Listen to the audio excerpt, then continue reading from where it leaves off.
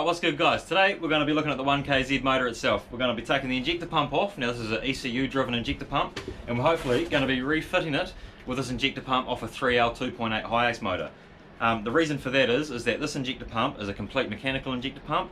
All it needs to run is a 12 volt signal to the fuel shut-off valve and once the motor's turning over this thing will crank diesel straight into it and run with no other electrical aids whatsoever. The injector pump on this is a bit smarter however, it's got several plugs all over it and it is ECU driven so without an ECU and a wiring loom running to that injector pump there's no way we can get this 1kz going. Um, I don't want an, uh, I don't want to make this injector pump run because I don't want an ECU in this truck. We're going to be submarining this truck deep underwater, electrics, ECUs, cut that out. This injector pump will be full mechanical, will be able to go completely submerged and as long as it's got a 12 volt signal to that fuel solenoid, this thing will keep on chugging. As long as I've got clean air going to it through the aid of a snorkel, will be sweet as. It should be a direct bolt-on process, but I'm not too sure on that because I've never done it before, so by no means this is a tutorial on how to remove or install this. It's me learning, and if you can pick up a few pointers along the way and possibly do it yourself, then bang on. But um, we're going to start with taking off the timing cover and then undo the bolts that mount it and also pull the injector pump lines off, well the injector lines off the back of the injector pump. Um, and we'll see to where from there. So let's get into it.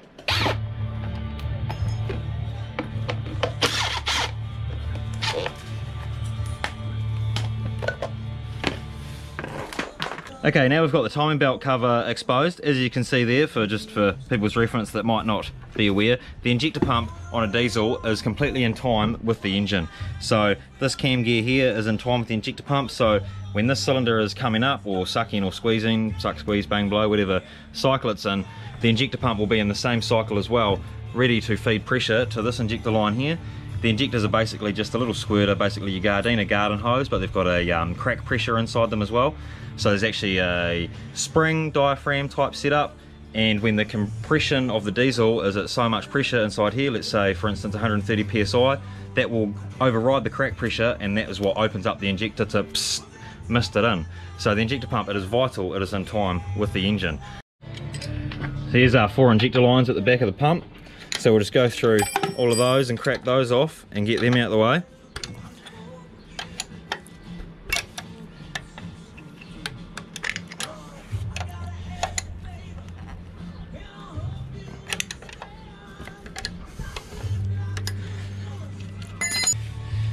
Alright, so now those are loosened off, we'll just pull them back. They'll sit there all happy like.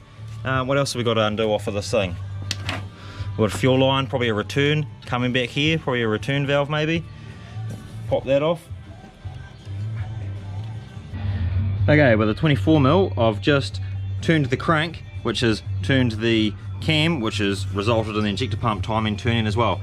Now I've rotated it until you can see there's a little line in there, and it matches up with a white line that was already pre drawn on there by someone in the past. So I've lined that up with that, so now when I put that pump on, I'll just go line it up the exact same way. On this one here, you can see there's a line there, so that line there I'll be aiming for to line up with that, and hopefully it works out the same.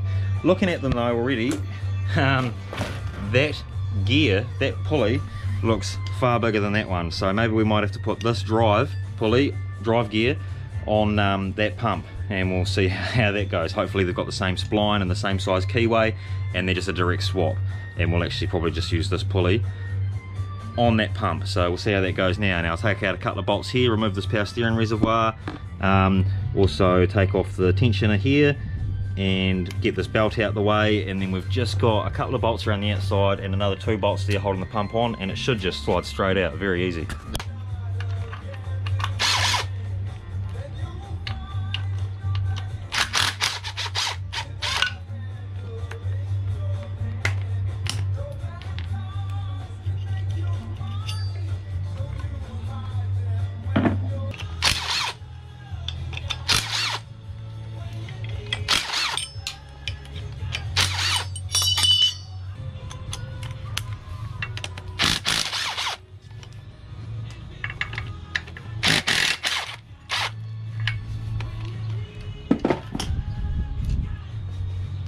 All right the next two nuts that i can see one down there and one down that side as well these two nuts here have actually got a little bit of a hole in there so you can actually turn the injector pump side to side Um, that would be for advancing and retarding the injector pump timing. Basically the same as, or similar to on a petrol motor, um, turning the distributor left to right to advance and retard the um, ignition timing on a petrol. So it'd be very much the same thing on this. So all it's doing is bringing the um, squirt of the diesel or the injection of the diesel or your crack pressure setting off. It's just bringing it forward and back from advancing and retarding it from when you're getting near your top dead center, I'd imagine, anyway. Okay, just got the uh, two nuts there for the advancing and retarding off of it. Now it should, I know my injector pump line's probably going to get in the way here and make a bit of a con. Should just slide out the back now. Definitely loose, definitely free. Hmm. This is probably where I would advise taking the injector lines off completely to um, aid in not doing any damage to them, but I'm not about that, so I'm probably just going to bend them out the way slightly and um, be a bit of a rough cunt. So might just go off here to do this, eh?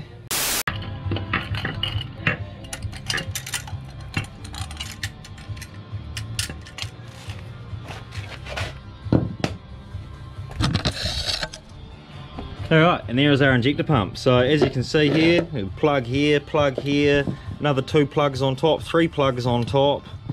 Um, yeah, and also the main thing is there's no throttle linkage on this injector pump, so this motor is basically fly-by-wire. As you know, it's diesel, so there's no throttle body on it. There's a soft start, which is a throttle body and as such, but um, there's no throttle body to control the throttle. So, and because there's no new throttle linkage on this injector pump, useless. Now this full mechanical injector pump, we've got throttle linkage right there. So the accelerator cable goes straight to this. Wum, wum, wum, all right, I've just noticed that the mounts on the back of these pumps that mount it to the block, they are slightly different, um, being that this uh, injector pump is off a complete different engine block. So we'll just whip the bolt out of here, bolt out of here, swap the mounts over, and hopefully she should be savvy dog.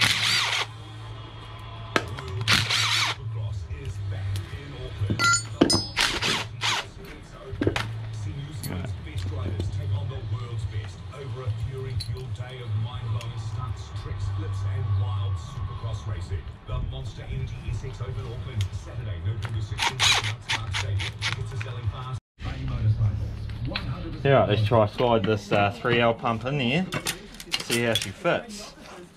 With a bit of luck, very easily.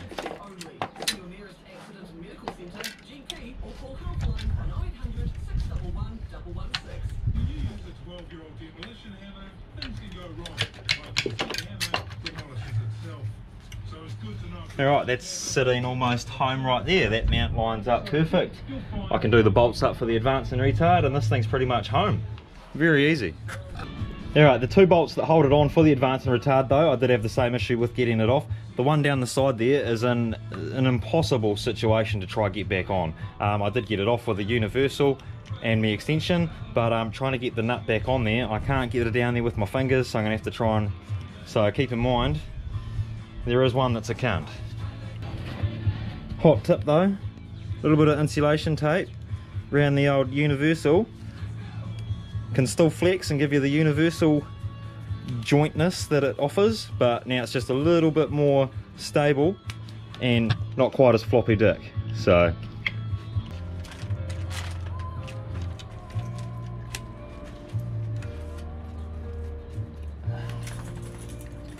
Alright, got all four injector lines on there. As you can see, they were all pretty much status quo from the last injector pump, so didn't have to bend them, tweak them or anything. They just straight on in the exact same order. No dramas, no real difference.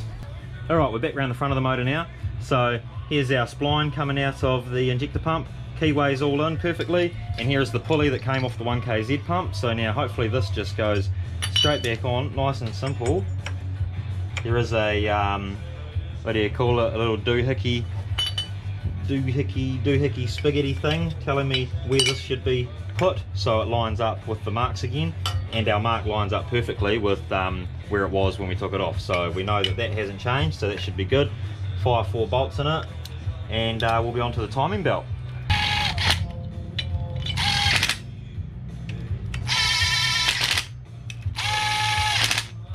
Alright, now we've got the thing all mounted up, all the bolts are tight, this thing is home, it's exactly where it wants to be. It's time to move on to putting the timing belt back on. Um, we've got our hydraulic tensioner here, so what I need to do now is get a vice or a G-clamp and basically tighten this up until it just pushes that little spline back and then get a pin and stick it through that hole and it'll go through that hole there and hold it in. You then bolt it all in place. Once the belt's on, pull the pin out and that'll poke out and put tension on our belt that we need to get on there. All right, all I've used is a G-clamp, bit of 4x2 there just to hold it a bit flatter. Slowly done it up because it is, I believe, hydraulically filled. Um, so you just do it up little by little by little while it slowly pushes the fluid back into its other reservoir. Um, you'll find that if you try and go real fast on it, it'll get real tight and you won't be able to do fuck all. It won't move that fast. But you just nice and slow, take about five minutes and just slowly wind it in, push it all the way in. I've then got this bit of um, wire here, or easy flow if you're in the know, um, poked it through the holes and basically when I take this clamp off, um, that pin won't be able to push out, it'll hold it back with this. So that'll give you time to then install it and then pull the bit of wire out and then it'll push tension on that belt. Let's get into it.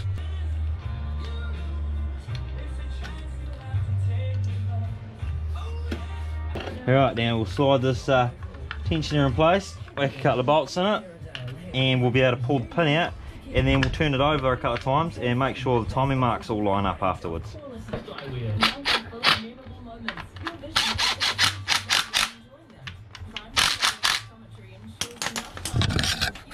Right, now when we pull this uh, bit of wire out, you should see that tensioner push out and push hard against this pulley, um, and it will take that slack out. So I'll just give that a little bit of time to rest and it should, well it's already pulled that slack out already, but it should slowly just put all its pressure it can on it over a little bit of time. Now what I'll do is I'll put a socket on me crescent, turn this over. Now I'm looking for the marks to line up. So we've got a point there on the motor, you see a point, that point should line up with the line on me um, gear. Where's the line? or oh, the marks in behind there on there. And for the top, where's a line here? So there should be a line, okay, right there. You see a line on that pulley? Um, and that lines up with a line just behind there in the dark that you might not be able to see. But I'll go ahead and turn that over a couple of times. Make sure it's still in time so we don't bugger anything while we're doing it and then um, we should be able to put in a, a uh, bell housing on there and start a motor and possibly start this thing on the floor. Alright, I've rotated it by the crank, it's turned the cam, turned in the injector pump in return, and my lines are right on the perfect there and right on the money on that line there as well. So now what I'm going to do is, like I said, bell housing, starter motor, and then we might uh, run a fuel hose to it, and I'll get uh, battery and some jump leads and try and crank it over. What I need to do though is I need to find out which wire is going to be the fuel on off solenoid. There's only three wires on this injector pump. Um, one of them is probably tach signals for the tacho, so you got your rev counter, but probably not going to worry about that. Um, but what I'll do is I'll just probe a 12 volt around here until I hear a click, click, click, and that'll tell me I can hear the solenoid clicking open and shut, and I'll run 12 volts to that.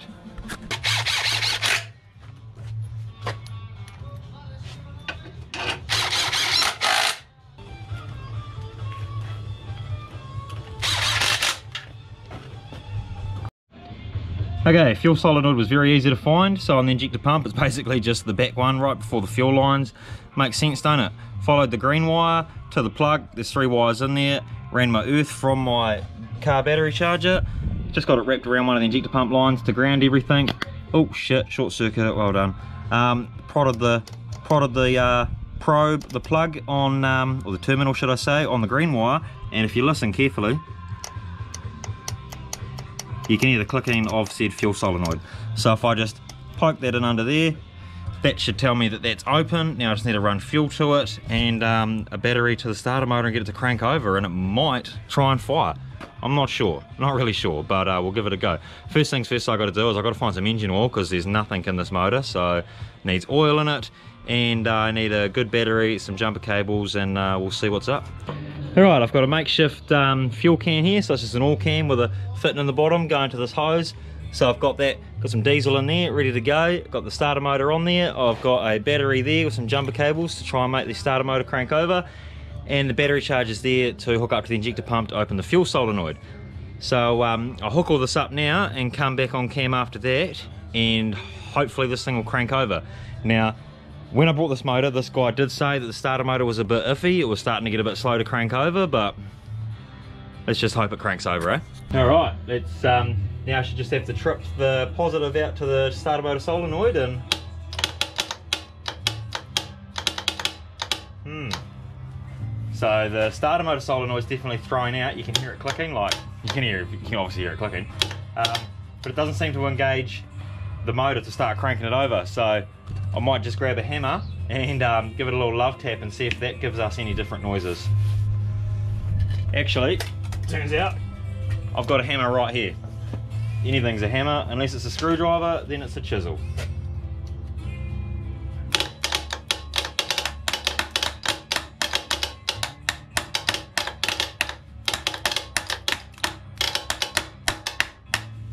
Hmm.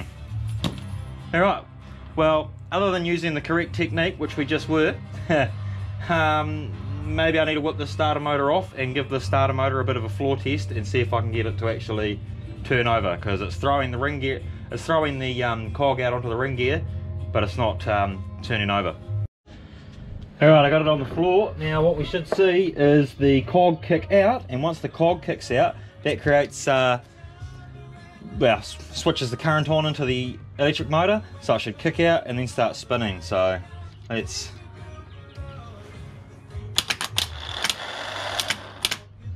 Hmm, very slow. Alright, I'll go try this on another battery and see if I get the same result. If I get the same result, then we need to rebuild the starter motor too. Alright, well that's a real bugger. Um, just tried that starter motor on the battery out of Cliffy, so same result, still turning over real slowly. So I'm imagining those brushes are completely buggered inside there. Um, could even be just um, dirty copper plates inside the solenoid as well. Bit of grease in there, as you can see it's quite oily around there, so not a lot of current getting through into that electric motor. So in the next video, we'll pull the backy off this, pull the solenoid apart, give it a clean up. Hopefully the brushes are still good in there, and um, we'll make the starter motor work and then hopefully we can start this thing on the ground because I should be able to get this thing to fire up just like that. Alright, that's about it we're going to do for this video. Um, it's a bit of a shame that starter motor's buggering out on me because um, I would have liked to have that thing started today. I could go ahead and try and fix that starter motor and get it working a bit better now, but it's starting to get late in the afternoon. It's like 30 degrees here in Hawke's Bay, sunny Hawke's Bay, so it's time for a beer and a ciggy and some dinner, I think. Um, now, we did get the injector pump on there, like I said, this isn't a tutorial for anybody, but it was a bloody easy job. I thought it would go a lot, um, be a bit more difficult than it was. So everything's just pretty much bolted up. It was just a complete swap out. The timing and the cam gear or the, the uh, pulley for it all just seemed to want to go straight on there. The only thing I know I am going to have to change probably is the throttle setup. Um, when it's in the truck, I'll probably have to, I know a lot of people make, they raise this up so it's sort of about here and then the cable comes down and pulls from up here down into it um, because there's a lot of stuff in the way being the oil filter and that to run a cable through there to that.